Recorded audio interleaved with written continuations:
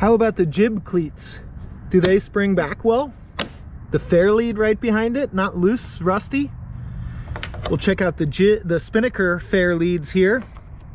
Not broken, bent, or rusty, tied on nicely.